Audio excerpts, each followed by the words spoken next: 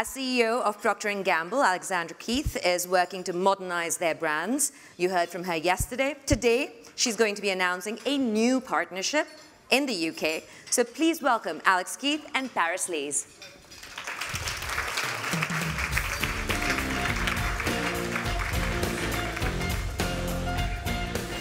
That music is so fitting for you. so this is an exciting part of this conversation where you kind of get to know a little bit more about Paris because we know a little bit about Alex, but I thought it's kind of an even keel situation where we need to understand who you are personally because we're talking about branding. So here is your rapid fire round. We have one minute to answer these questions. All time, since we're talking about music all through this lunch, all-time favorite singer and song? Oh, Annie Lennox. Oh, a Little Bird. There you go. She was here not long ago. Oh. Billy Joel, Vienna. Ooh. One thing you don't, no one knows about you. I, I'm an obsessive compulsive cleaner. I can do running pace time math in my head. Best advice you ever got? Uh, uh, do what you can when you can. I'd say follow your dreams. Mm. Favorite city? Oh, uh, uh, uh, Clock's ticking down. Uh, uh, Nottingham. London. There you go. Favorite place in London? Hyde Park because I run. Ooh. Oh, a dirty, sweaty warehouse at 3 a.m. wearing Nikes. okay. Okay. Favorite seat in the plane? One where I don't have to get up for someone else. Business class. Ooh. um, how do you both de-stress? I run. he runs a lot. Uh, Valium. I like your solution better. I do. Valium is underestimated. And exercise. jog. I'll do the shrug as well. Um, so introduce yourself, Paris, to this um, audience that may not know you.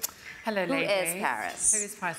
Uh, I am a writer and campaigner, and I'm probably best known in the UK for trying to raise awareness for transgender rights and put forward the idea that uh, trans people deserve to um, live their lives free from discrimination and um, be treated with dignity. But I guess, I don't know, I do a lot of different things, but that's probably the main thing.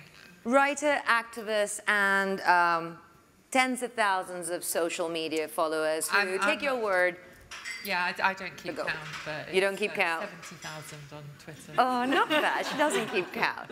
Um, there's a reason why we have you both here. You both are amazing at the ability to brand and rebrand. Alex, you came into uh, this role at Procter & Gamble and reach, uh, rejigged the way the brands were looked at, the ones that were not doing well, put the company and the beauty business back on track. Um, tell me a little bit about the focus point at this point. You have a so, study that you did, and yeah, you, yeah tell so me a little bit more. i will talk, um, I'll focus on today on our Pantene brand, which is what we call it in the U.S a little tomato tomato. I think here in the UK it's Pantene, so we forgive me. Pantene. I will call it Pantene, but please think about Pantene. It's a brand that's been around since 1945, and it is a fantastic product for hair. But as I came uh, to this role, I really looked at that brand, which was not doing very well, and said the brand is really missing its mission and purpose. It's not emotionally connecting with women that we, you know, that we ultimately would like to use it.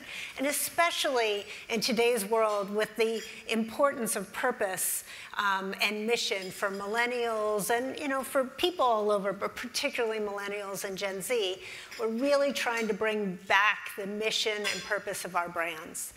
So for Pantene, which is all about giving women the healthy, wonderful hair they want to have, we looked at, a, we did a study with Dr. Marianne LaFrance at Yale University on the transformative power of hair. We did the, we've done a couple studies now with 8,000 women in 11 countries around the world about the importance of hair to how they want to project themselves to the world and how they express themselves to the world. And what we found was, and we talked this morning a lot about fashion and, and beauty and clothes and jewelry and all those things, but in all those countries, hair is more important than almost anything else to the way a woman expresses herself to the world. So now on our Pantene brand globally, we have a platform about the transformative power of hair. And that is coming to life differently in different countries around the world. And here in the UK, I'm really proud to announce today on this stage whoop, whoop. our partnership with Paris to help bring to life Paris's story and journey and the power uh, that her hair and the role her hair played in, in her own.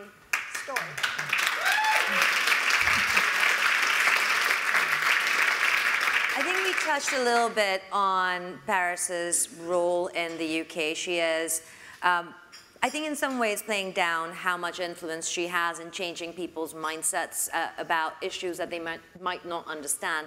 And her story is a powerful one. So I, I want you to tell us a little bit more about this transformative power of hair uh, and the purpose that kind of got you from where you were when you were very young to where you are now and what happened? Well, I, th I think that, you know, genuinely, when I, when I first transitioned as a teenager, I was messed about by the NHS like many trans people are, and I wasn't actually getting the, the support that I needed, and uh, I didn't have any medical interventions at that point, so I'd not had hormones, and people were reading me as male sometimes in public, not all the time, but enough to make me very anxious about leaving the house. And I, I went on for a, a, year at that time. And uh, the, the way that I was communicating to the world that I was female was essentially because physically I was exactly the same as I'd been, you know, a couple of months previously. It was the hair, it was the makeup, it was the clothes. And obviously, these things don't make us women. You know, that you, you have shaved head and you're still a woman. But it, it was so interesting to me that it's such a powerful way to communicate because you shaved your head at one point when you were a teenager, when yeah. this, when the start of the Paris Lees' um, journey began, yeah. you had shaved your head. Yeah, because I, I, I, knew that I wanted to grow it originally because I'd, I'd, known, you know, from a very young age, you know, the direction I wanted to go in. And I, I had some really hard times as a teenager and I actually ended up in a young offenders institute. And I felt like I've, my life is ruined. I'm, you know, I've, I've messed up. I, I'm just, I can't even, you know, get through college, let alone make this what seemed like a completely insurmountable change in my life. And there was no other way for me to express myself in, in, in prison. All I had was my body. And it was this sort of cry for help. It was this sort of, um, you know, just this complete despair. And I think that there is an emotional element to her. And I think for me, why it's such a, it's, it's not the only, you know, thing, but it, I feel it's such a powerful expression of, of femininity because you know, I think my fear when I was growing up, the only time I ever saw trans people in the media or in advertising, we were presented as objects of pity, ridicule, or disgust. You know, we were never celebrated or, uh, uh, you know, uh, shown basic humanity. And there was always this caricature of, you know, you've got too much makeup on and it's fake hair, fake boobs, fake, this idea that you were artificial, that you weren't who you said you were. And I think for me, my hair's my crowning glory because it, that grew out of my head. You know and i go to i go to bed at night and it's it's it's there and and and it's me you know it's it's sort of indivisible from me so um, uh, it's it's just really nice that this is where the conversation is at in 2019 and that's what it comes down to at some point when you're looking at a change in your customer and the values that they're espousing and the change that people like you are bringing into the corporate world. When you look at a company like Procter & Gamble or any other corporate out there that is trying to achieve a new wave of branding, you talk about it, the core being purpose mm. instead of jumping on the bandwagon. Mm. Run us a little through the, the mentality that your approach has taken um, the journey of the beauty product business in Procter & Gamble. Yeah, I think, I think ultimately, I mean, Procter & Gamble is a company that is very committed to innovation and product performance. But I think, and, we, and this has been a theme throughout, the importance of, of people feeling, feeling connected to the brand and what the brand is about and what the mission of that brand and company is about is very important. So as we've done this work with our beauty brands and we, we have a broad stable of beauty brands, one of our um, one of our most mission-driven brands is a, is a brand called SK-II in Asia that is all about changing destiny and has amazing emotional platforms about changing destiny for women in, the, in, you know, in many countries. These, these things are very important to tie to the benefits of the products so that the products and the brands are at the front and center because ultimately we're, we're a company selling products and brands but doing it in a way that makes them more important in people's lives. And Procter & Gamble in general, and I talked about this yesterday a bit, views ourselves as both a force for growth and a force for good in our corporate uh, social responsibility platforms. But it wasn't always like life. this, right? It, it, it, was a cultural change that's ha had to happen. What the, so Procter & Gamble has always viewed ourselves that way and, and led the way in many things over our over 175 year history. But but ultimately, the cultural change is that we are putting it front consumer facing now. Over the last five to seven years, we've become a lot more public about the, the things we are doing in the world, in the communities in which we live and work, and to bring forward insights that spark conversation in the areas of gender equality, diversity and inclusion, the things that you know we think matter to uh, society and, and forwarding society, but doing that in ways that fit with our brands, that don't feel co-opted and just latched onto. And that's why this transformative power of hair platform is so powerful globally because the 11 countries are, they represent all the regions of the world. But what's what's interesting about them is how they're coming to life differently um, by country. And, and I'll just say in Japan, for instance, there is a huge drive for conformity in Japan, which is probably not a shock to anyone.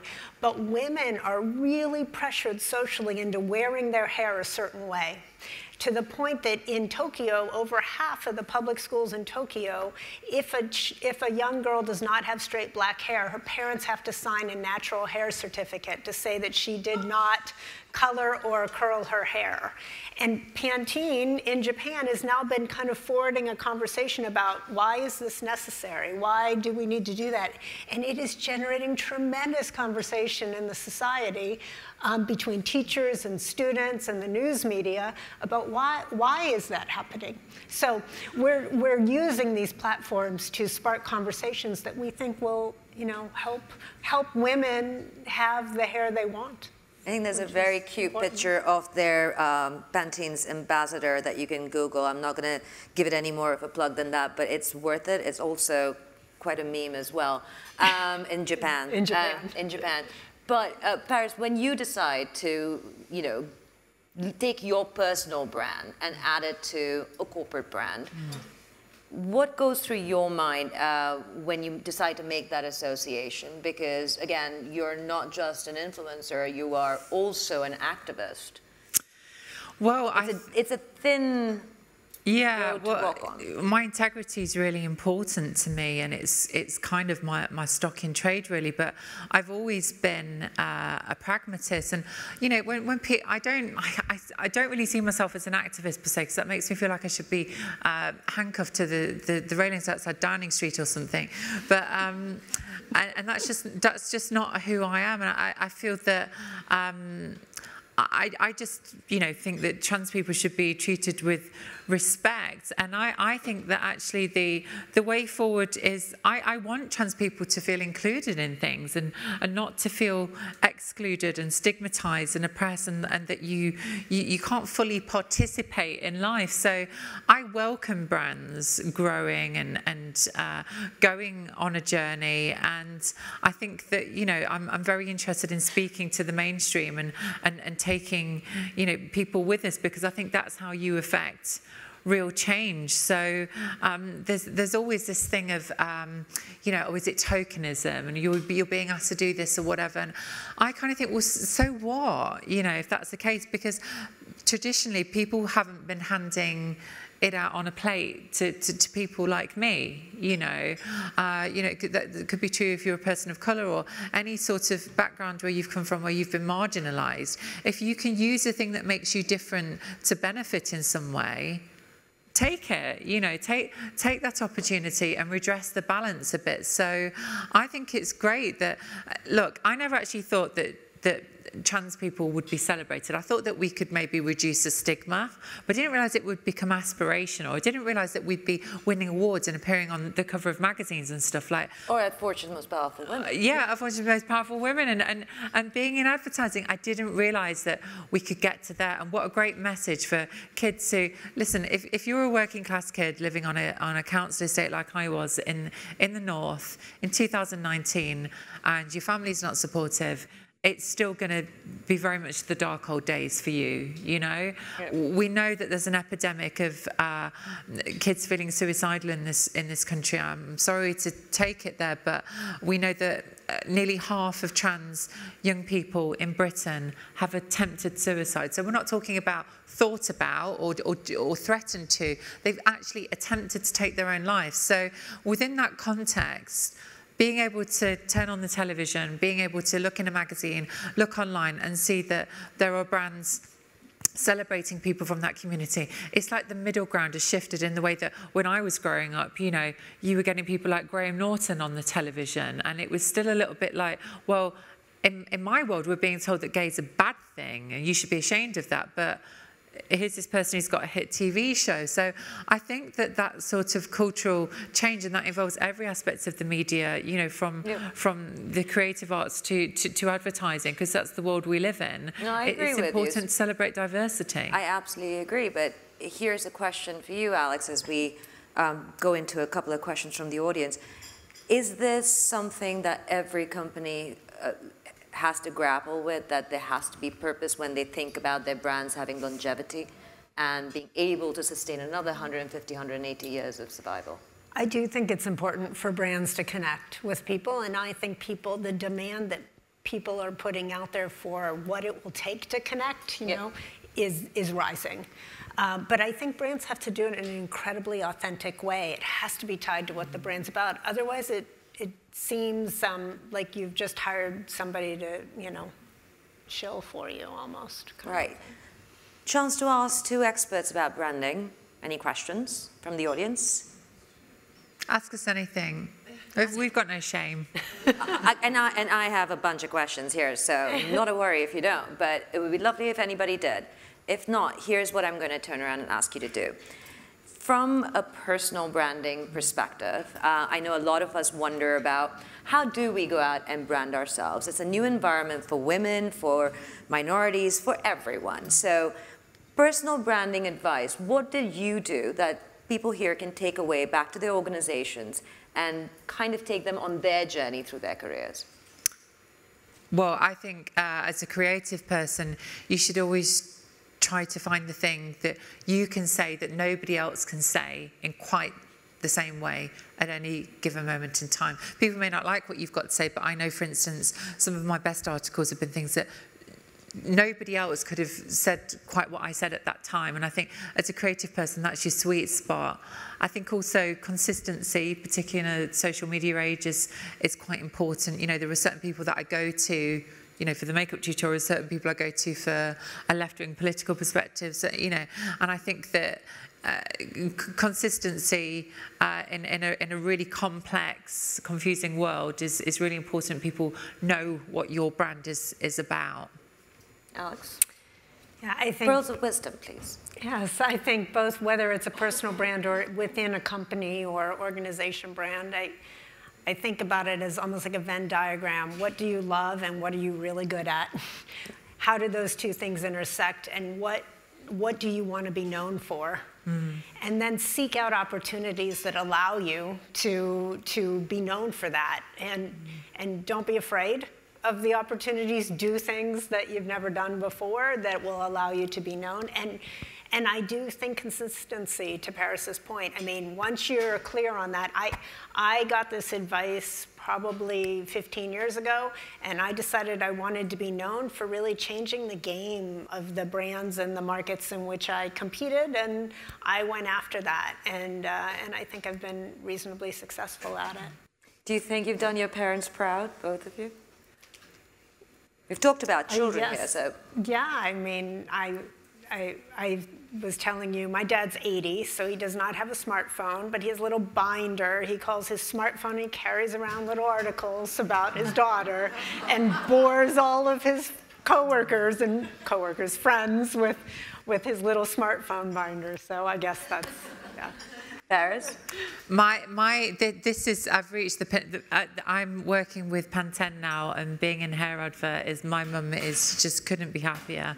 Uh, I think she thought, you know, when I was younger that I was going to bring great shame on her and the family and it's, it's gone 180 now. But one other thing I just really wanted to add quickly about branding, which may just seem so obvious, but I think really authenticity is really important as well in, in a social media age. Um, so I try and make sure that everything that I do is really authentic. Authentic enough to make your mother proud. yeah, yeah, she's kind of my biggest fan now, and uh, you know I've taken her to Downing Street and stuff, so she's um, she likes she's it. done all right. She only had one child, so you know I, I feel like I've got her. well, ladies, thank you so very much for giving us your advice. I know a lot of us will take it back to our organizations and personal branding, corporate branding, it's all important. It's all about you. So thank you. Thank you. Thank you.